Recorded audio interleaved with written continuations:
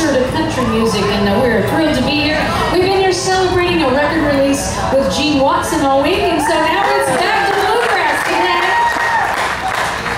There's one you might recognize. I know it is June, but uh, here's another date for you.